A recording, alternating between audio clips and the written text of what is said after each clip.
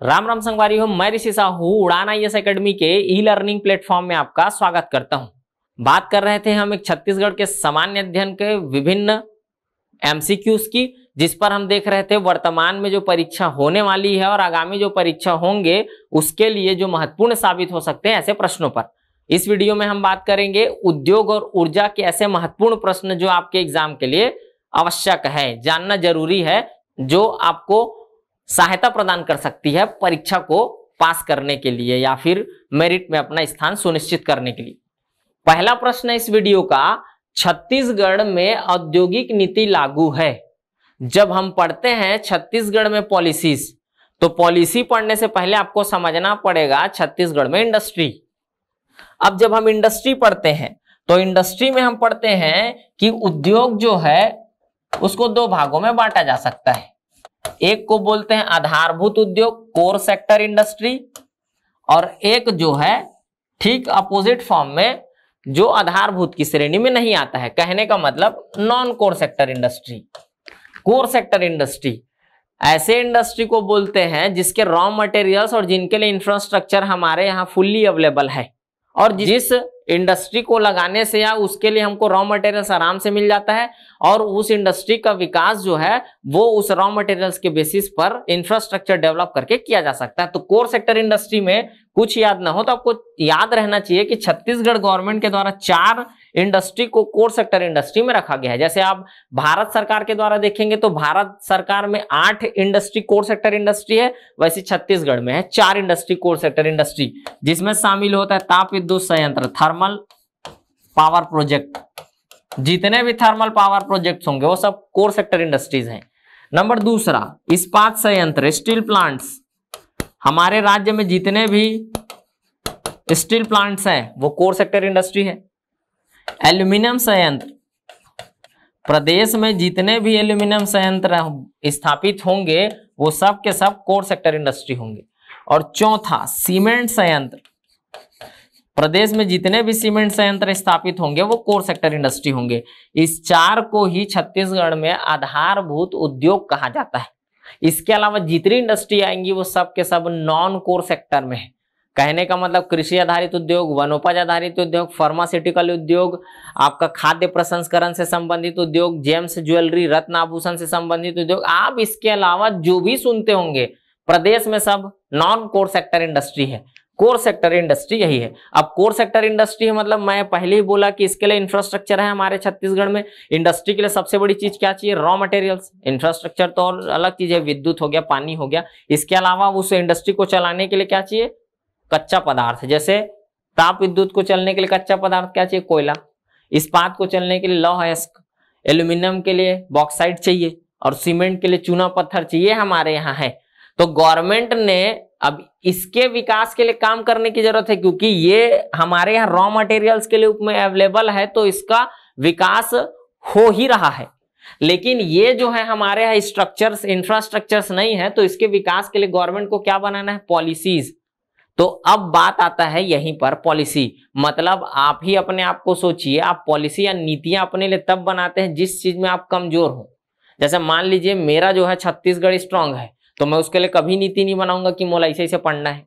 अब मान लीजिए मोर बाकी सब्जेक्ट कमज़ोर है, तब मैं उन लोग के लिए नीति बनाऊँगा टाइम टेबल बनाऊँगा, कितने दिन में कितना खत्म करना है मतलब पॉलिसी उन चीज़ों के लिए बनाई जाती है जिस पर हमको अपना कमांड लाना है। तो राज्य सरकार को भी इसका विकास करना है, क्योंकि हमारे यहाँ बहुत सारे लोगों के स्वरोजगार, रोज़गार का साधन नॉन कोर सेक्टर इंडस्ट्रीज़ है। जैसे एग्रीकल्चर बेस्ड इंडस्ट्री आपका फॉरेस्ट प्रोड्यूस बेस्ड इंडस्ट्री वनोपज वाला। तो शासन इसके लिए नीतियाँ बनाना शुरू की। पॉलिसी अब बनाई तो पॉलिसी अब इसी नीतियों को हमको दो रूपों में ध्यान देना है। गवर्नमेंट जो है, वो पॉलिसी बनाई है, उसको दो रूप में ध्यान देना है। आपके जानकारी के लिए इसे कोई नहीं बांटे ना भाई गवर्नमेंट है। मैं आपको याद रह करके इसको बांट दिया अब हमारे यहाँ दो चीज़ होता है। एक वित्त वर्ष होता है, जो कब से कब तक होता है? एक अप्रैल से इकतीस मार्च के बीच। तो कुछ पॉलिसीज़ जो है, हमारे यहाँ इस अवधि में लागू है। मतलब एक अप्रैल से इकतीस मार्च की अवधि के लिए। हम बने कब थे? एक प्रदेश के रूप में हमारी स्थापना एक नवंबर 2000 को। तो कुछ नीति जो है एक नवंबर से शुरू होता है। एक साल कब होगा? इकतीस अक्टूबर। तो प्रदेश में कुछ नीतियाँ जो है, इस अवधि के लिए लागू है। मैं केवल आपके याद रह करके केवल क्लासिफाइड कर दिया हूँ, ऐसा आपको कहीं नहीं मिलेगा भाई। मैं बता दिया हूँ कि कौन सा एक अप्रैल से इकतीस मार्च के लिए, कौन सा एक नवंबर से इकतीस अक्टूबर के लिए। अगर हम एक अप्रैल से इकतीस मार्च के लिए छत्तीसगढ़ में इंडस्ट्रियल पॉलिसीज़ की बात करें तो एक पॉलिसी है ग्रामोद्योग नीति। और ग्रामोद्योग नीति छत्तीसगढ़ गवर्नमेंट के द्वारा एक अप्रैल 2016 से 31 मार्च 2021 के लिए लागू था। पाँच वर्ष की नीति थी। दूसरा एक्सपायर हो गए, मार्च हो, निकल गए, बाईस चला था अभी। ठीक। दूसरा, सौर ऊर्जा नीति। सौर ऊर्जा नीति प्रदेश में एक अप्रैल 2017 से 31 मार्च 2027 तक लागू है। दस वर्षीय नीति। तीसरा लॉजिस्टिक पार्क नीति। और ये नीति हमारे यहाँ एक अप्रैल 2018 से 31 मार्च 2023 के लिए लागू है। ये तीन नीतियाँ हैं वर्तमान गवर्नमेंट की जो एक अप्रैल से इकतीस मार्च की अवधि के लिए। वहीं और नीति की बात करें जो एक नवंबर से इकतीस अक्टूबर के लिए है, जिसमें से एक आप सुने होंगे, वो भी एक्सपायर हो गया है, लेकिन याद रखना है ऑटोमोटिव उद्योग नीति। और ऑटोमोटिव उद्योग नीति हमारे यहाँ एक नवंबर 2012 से 31 अक्टूबर 2017 तक लागू रहा। ये भी एक्सपायर ही है। दूसरा, कृषि एवं खाद्य प्रसंस्करण नीति। और ये हमारे यहाँ एक नवंबर 2012 से 31 अक्टूबर 2019 तक लागू रहा है। फिर सरकार ने और नई कृषि एवं खाद्य प्रसंस्करण नीति नहीं बनाई है, यहीं पर आके खत्म हुआ है। और तीसरा जो मोस्ट आईएमपी है, वो है औद्योगिक नीति, छत्तीसगढ़ गवर्नमेंट की इंडस्ट्रियल पॉलिसी। और ये औद्योगिक नीति एक नवंबर 2019 से 31 अक्टूबर 2024 की अवधि के लिए लागू है। इसी औद्योगिक नीति की कुछ विशेषता हम देखते हैं तो इसी औद्योगिक नीति में 200 फ़ूड पार्क बनाने की बात कही गई है। एक विशेषता इसकी। दूसरी बात कही गई है कि उद्यम को बढ़ाने के लिए हमारे प्रदेश में और प्रोत्साहित करने के लिए औद्योगिक पुरस्कार योजना की शुरुआत की गई, जो पाँच श्रेणी में दी जाती है, यहाँ से प्रश्न पूछा जा सकता है। और छत्तीसगढ़ के विकास खंडों को औद्योगिक विकास के आधार पर चार भागों में बांटा गया है। विकसित विकास खंड अल्प विकसित विकास खंड पिछड़ा विकास खंड अति पिछड़ा विकास खंड तो चार कैटेगरी है, तीन पॉइंट ध्यान देना है। फ़ूड पार्क कितने स्थापित किए जाने हैं? 200 ये बात पाँच श्रेणी में औद्योगिक पुरस्कार योजना, ये और तीसरा चार कैटेगरी विकास खंडों के औद्योगिक विकास के आधार पर। और प्रश्न में यही पूछा गया है। क्या पूछा है प्रश्न में? छत्तीसगढ़ में औद्योगिक नीति लागू है तो कब से लागू है? एक नवंबर 2019 से 31 अक्टूबर 2024 मतलब हमारा उत्तर होगा क्या? Option A. अगला प्रश्न है, प्रदेश के आधारभूत उद्योगों में शामिल नहीं है। मैंने अभी थोड़ी देर पहले आपको बताया कि छत्तीसगढ़ में चार इंडस्ट्री, आधारभूत या कोर सेक्टर इंडस्ट्री कहलाता है। ताप विद्युत संयंत्र, इस्पात संयंत्र, सीमेंट संयंत्र और एल्यूमिनियम संयंत्र। आप इसका आंसर हमको कमेंट करके बताइएगा कि इसका उत्तर क्या होगा। अगला प्रश्न है, प्रदेश का वृहद औद्योगिक क्षेत्र नहीं है। अब वृहद औद्योगिक क्षेत्र जानने के लिए आपको स्थिति जानना पड़ेगा। और हमारे यहाँ जो भी औद्योगिक क्षेत्र है, मुख्यतः और वृहद के रूप में तो वो सेंट्रल डिवीज़न में है। सेंट्रल डिवीज़न कहने का मतलब बिलासपुर, ये दुर्ग और ये रायपुर। बिलासपुर डिवीज़न में वर्तमान में छह ज़िले आते हैं। मुंगेली, गौरेला पिंडरा मरवाही, बिलासपुर, कोरबा, जांजगीर चांपा, रायगढ़। दुर्ग डिवीज़न में वर्तमान में पाँच ज़िले आते हैं। यह है कबीरधाम, यह राजनांदगांव, बेमेतरा, दुर्ग और बालोद।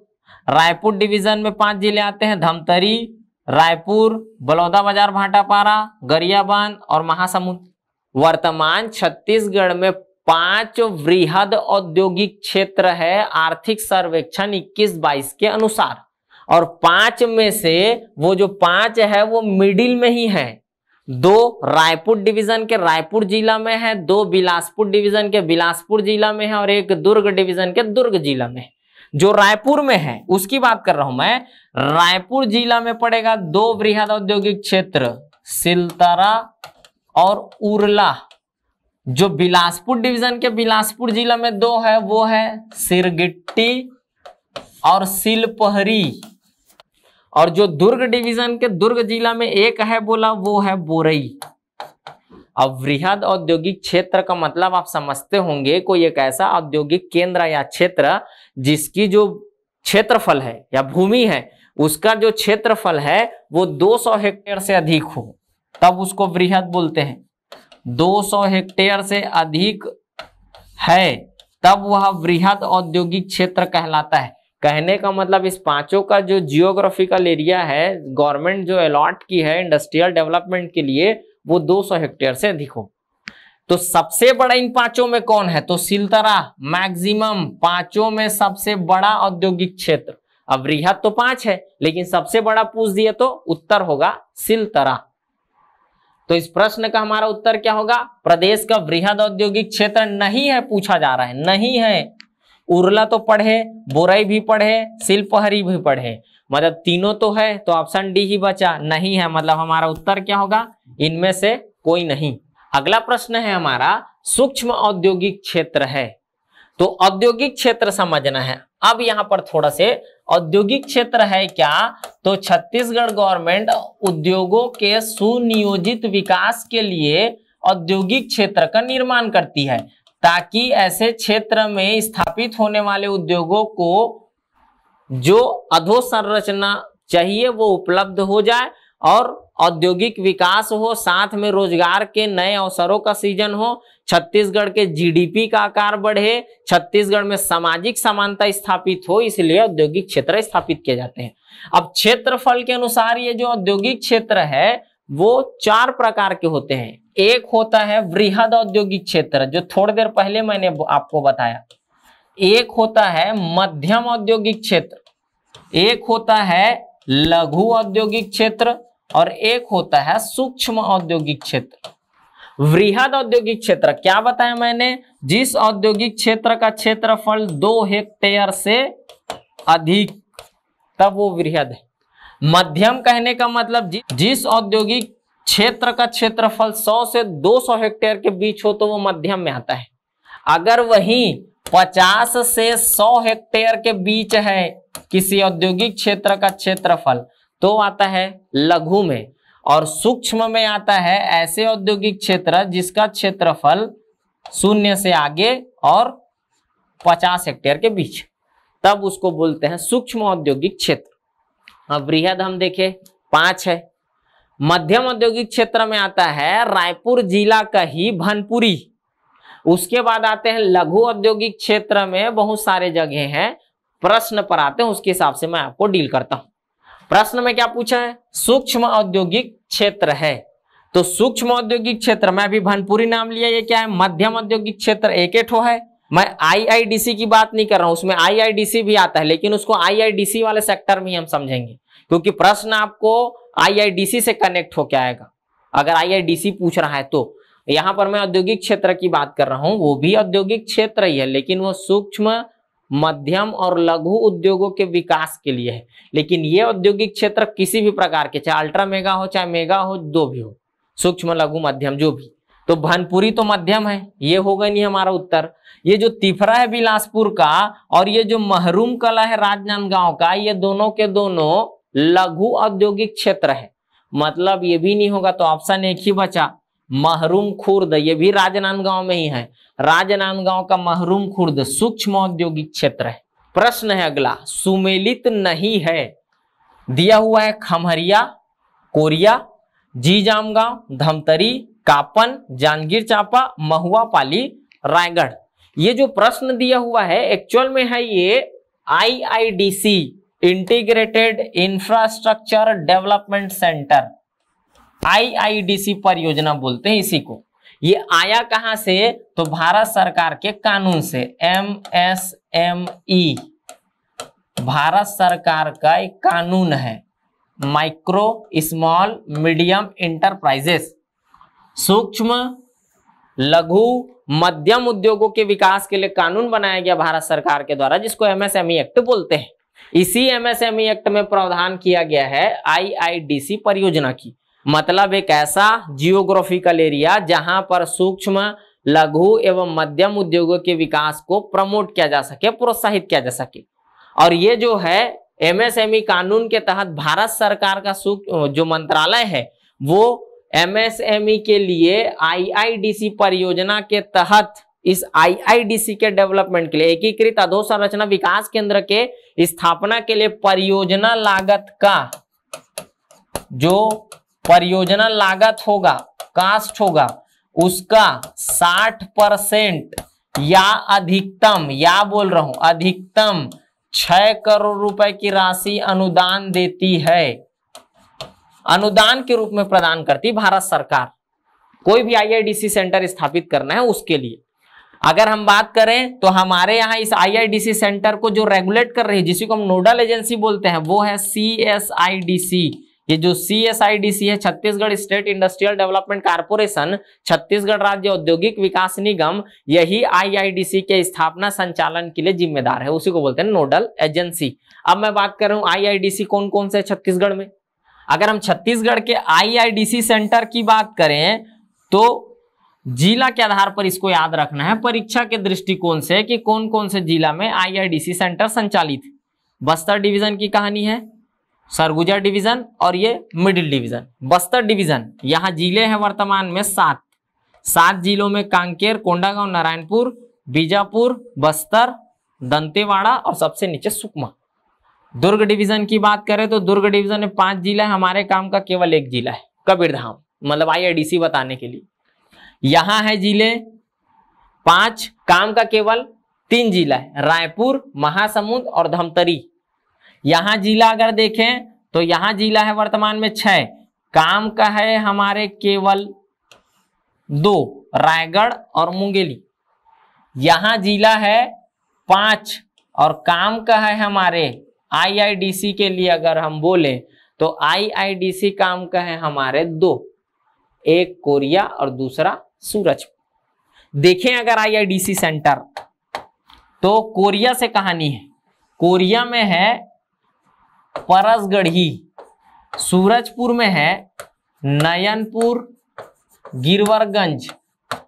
यहाँ मुंगेली की बात करें तो यहाँ पर है खमरिया। रायगढ़ में है मऊहा पाली मऊहापाली, सियारपाली। कबीरधाम में है हरिन छपरा जांजगीर चांपा यहीं से ले ले। जांजगीर चांपा में है कापन। फिर रायपुर में है अभनपुर। धमतरी में है जी जामगांव महासमुंद में है बिरकोनी। कांकेर में है लखनपुरी, दंतेवाड़ा में है टेकनार। ये आईआईडीसी सेंटर है। भाई, अब सबका कुछ ना कुछ तो जियोग्राफिकल एरिया होगा ही ना। कुछ ना कुछ तो भौगोलिक क्षेत्रफल होगा ना, ये भी तो एक इंडस्ट्रियल एरिया ही है। लेकिन इसमें ऑब्जेक्ट क्या है? सूक्ष्म, लघु, मध्यम उद्योगों को स्थापित करना है, उसको प्रमोट करना है। तो इसका भी तो कुछ ना कुछ एरिया होगा। तो ये भी तो कहीं ना कहीं वो आएगा ही वृहद मध्यम ये सब में। तो इसी को कहीं न कहीं दिया होगा, सूक्ष्म में दे दिया होगा, लघु में दे दिया होगा, मध्यम में दे दिया होगा तो आपको वहाँ पर नहीं पढ़ना है, आपको इसको हटा के पढ़ना है, क्योंकि आईआईडीसी का अलग ही महत्व है। तो ये आईआईडीसी सेंटर है। हमारा प्रश्न क्या था? सुमेलित नहीं है। खमरिया, मैंने आपको खमरिया कहाँ बताया भाई? मुंगेली में बताया हूँ। यही दिख रहा है, सुमेलित नहीं है। तो आंसर हमारा यही होना चाहिए। आगे बढ़ के देख लेते हैं। जी जामगांव धमतरी में सही है। कांपन, जांजगीर चांपा में सही है। मऊहापाली या सियारपाली रायगढ़ में है, ये भी सही है। तो उत्तर है हमारा ऑप्शन ए। प्रश्न है, अक्टूबर 2021 की स्थिति में छत्तीसगढ़ की ऊर्जा उत्पादन क्षमता है। अब हम छत्तीसगढ़ की ऊर्जा उत्पादन क्षमता की बात करें, और आपको दिया रहेगा वो डेट, अक्टूबर 2021 की स्थिति में मैं बात कर रहा हूँ। अक्टूबर 2021 हमारी जो क्षमता है, वो है उनतीस चौरासी दशमलव सात मेगावाट। ये छत्तीसगढ़ गवर्नमेंट की ऊर्जा उत्पादन क्षमता है। छत्तीसगढ़ गवर्नमेंट बोल रहा हूँ मतलब समझना है। C S P G C L Chhattisgarh state power generation company limited. उसकी कैपेसिटी है। अब ये जनरेशन करती है दो महत्वपूर्ण ऊर्जा, एक थर्मल ताप, दूसरा हाइड्रल, जल विद्युत। और जो दोनों में शामिल नहीं है, उसको अन्य में रखा गया है। इस उनतीस चौरासी का 28 40 मेगावाट हमको ताप विद्युत ऊर्जा के रूप में प्राप्त होता है। मतलब C S P G C L इतनी क्षमता का इतना थर्मल के रूप में जनरेट करती है। 138.7 मेगावाट जल विद्युत ऊर्जा के रूप में होता है और जो 6 मेगावाट है, वो हमको अन्य के रूप में मिलता है। अन्य कहने का मतलब भोरम देव जो हमारा सहकारी शक्कर कारखाना है, रामहेपुर, बोड़ला तहसील, जिला कबीरधाम में, वहाँ से सह उत्पाद, बाई प्रोडक्ट जो उस शक्कर कारखाना से जो खोई निकल रहा है गन्ने का, उसी से 6 मेगावाट एनर्जी जनरेट किया जा रहा है वर्ष 2006 से। इसी को बोलते हैं भोरम देव को जनरेशन। तो अन्य वही है, भोरम देव वाला। बाकी ये जल विद्युत है जो चार परियोजना है हमारे यहाँ, और ये ताप है। तो ताप की परियोजना हमारे यहाँ दो जिलों में चल रहा है। एक तो हमारा जिला है कोरबा, जिसको छत्तीसगढ़ में पावर हाउस बोलते हैं, ऊर्जा राजधानी। और एक जिला है जांजगीर चांपा। अब कोरबा में दो जगहों से जनरेशन है, कोरबा पूर्व और कोरबा पश्चिम। तो जो पश्चिम की ओर लिख रहा हूँ, वहाँ पावर प्लांट है। हसदो ताप विद्युत परियोजना बोलते हैं। 210 मेगावाट के चार यूनिट उन्नीस से छियासी के बीच मतलब 840 फिर 500 मेगावाट का उसको विस्तार दिया गया है 2013 में। तो हो गया कितना? 840 और 500 1340 पश्चिम की ओर, पूर्व की ओर, पूर्व की ओर है। श्यामा प्रसाद मुखर्जी, जो ताप विद्युत परियोजना 2007 में शुरू है 500 मेगावाट 250 मेगावाट के दो यूनिट, वो पूर्व की ओर है। तो कोरबा से पश्चिम और पूर्व में जनरेट होता है। हज़ार मेगावाट जो है वो जांजगीर चांपा के मड़वा थर्मल पावर प्रोजेक्ट से जनरेट होता है और इसी का नाम रखा गया है अटल बिहारी वाजपेयी जी के नाम पर। अटल बिहारी वाजपेयी ताप विद्युत परियोजना कहाँ है? मड़वा में, जिसकी कैपेसिटी है हज़ार मेगावाट और हज़ार मेगावाट है तो 500 मेगावाट के दो यूनिट और दोनों के दोनों वर्ष 2016 में शुरू हुआ है। प्रश्न पर आते हैं हम। प्रश्न में क्या पूछा गया है? अक्टूबर 2021 की स्थिति में छत्तीसगढ़ में ऊर्जा उत्पादन क्षमता है। तो अभी आपको बताया उनतीस चौरासी दशमलव सात मेगावाट। तो उनतीस चौरासी आपको ऑप्शन ए में दिख रहा है, उत्तर यही होना चाहिए। अट्ठाईस चालीस मेगावाट, ये क्या है भैया? अभी बताया, ये है, उसमें सात पॉइंट सेवन को हटा दें तो ये है थर्मल। और बत्तीस चौबीस पहले था मतलब कब पहले? मतलब ये ईयर जो शुरू नहीं हुआ था 2021 उससे पहले था। मतलब मैं ये बोलूँ कि दिसंबर 2020 तक हमारी क्षमता ये थी। लेकिन हमारी क्षमता आज, एक जनवरी के बाद से 2021 से कितना हो गया? उनतीस चौरासी। उत्तर है हमारा ऑप्शन ए। प्रश्न है, मड़वा ताप विद्युत परियोजना निम्नलिखित में से किस जिला में स्थित है? तो अभी मैंने आपको बताया, जांजगीर चांपा में मड़वा थर्मल पावर प्लांट स्थित है, जिसका नाम क्या है? अटल बिहारी वाजपेयी जी के नाम पर। हज़ार मेगावाट इसकी क्षमता है 500 मेगावाट के दो यूनिट है और दोनों के दोनों वर्ष 2016 से कमिश्निंग है, शुरू हुआ है। अगला प्रश्न है हमारा, वर्ष 2020-21 में केंद्रीय विद्युत प्राधिकरण के प्रतिवेदन के अनुसार प्लांट लोड फैक्टर पीएलएफ में छत्तीसगढ़ का देश में स्थान है। ईयर पूछ रहा है। कौन सा? बीस इक्कीस। अगर हम इस बीस इक्कीस की बात करें तो इस बीस इक्कीस में हमारी स्थिति जो है, वो तीसरी है। प्लांट लोड फैक्टर में। हम जो भी ताप विद्युत गृह, जितने भी राज्य या केंद्र शासित प्रदेश में, उसका प्लांट लोड फैक्टर कैलकुलेट करती है ये केंद्रीय विद्युत प्राधिकरण, और हर मंथ अपना रिपोर्ट जारी करती है। तो ये पूरा एक ईयर का है। एक अप्रैल 2020 से 31 मार्च 2021 आपको एक प्रश्न इस रूप में पूछेगा कि क्या स्थिति कौन से क्रम में है? तो हम कहा है? तीसरे क्रम में। है लेकिन एक स्थिति ऐसे पूछेगी किसी मंथ को लेकर। तो मंथ को लेकर पूछेगी तो सर्वे में दिया उसको लेकर पूछेगी। सर्वे में दिया हुआ है अक्टूबर 2021 में प्लांट लोड फैक्टर में छत्तीसगढ़ की स्थिति है, क्योंकि जो सर्वे में दिया वहीं से प्रश्न उठेगा। ये भी सर्वे में ही दिया है। बीस इक्कीस में हम तीसरा है। तो अक्टूबर 21 में हम कौन सा है? क्योंकि मैं बोला हर महीना जारी करता है वो रिपोर्ट तो जब सर्वे संकलित हुआ होगा तो अक्टूबर का महीना का रिपोर्ट रहा होगा, उसी को सर्वे में मेंशन किया गया है। तो इसके अकॉर्डिंग हमारी स्थिति चौथी है। तो आपको दो इंफॉर्मेशन मिला यहाँ से। बीस इक्कीस में हम क्या है? तीसरा है और अक्टूबर 2021 में हम चौथा है। यही मैं बात करूँ 19-20 की तो हम प्रथम थे और अक्टूबर 2020 में हम तृतीय थे, लेकिन अब उस आंकड़ा का कोई मतलब नहीं है, क्योंकि वो पिछले सर्वे में दिया था। अभी आपको यही याद रखना है। अभी जो भी एग्ज़ाम होंगे साल भर के अंदर। अगला प्रश्न है, मुख्यमंत्री ऊर्जा प्रवाह योजना का संबंध है? ऑप्शन ए, विद्युत अधोसंरचना के सुदृढ़ीकरण से, हाफ़ बिजली बिल योजना से, औद्योगिक बिजली की प्रतिपूर्ति से, उपरोक्त सभी से। इसका उत्तर है ऑप्शन ए विद्युत अधोसंरचना के सुदृढ़ीकरण से।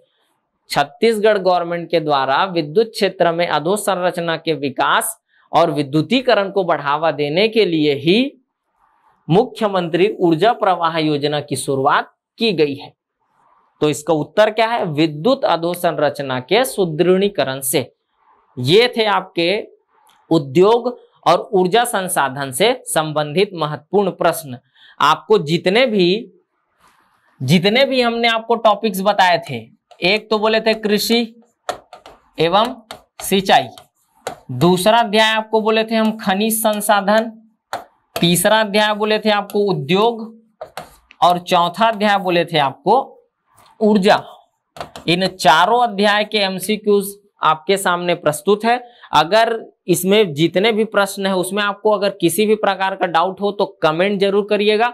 और वीडियो अगर पसंद आए तो ज़्यादा से ज़्यादा लोगों को शेयर करिए और पसंद आए तो लाइक करना बिल्कुल नहीं भूलिएगा। मिलते हैं आपसे अगले वीडियो में नई जानकारी के साथ। तब तक के लिए जय जोहार, जय छत्तीसगढ़।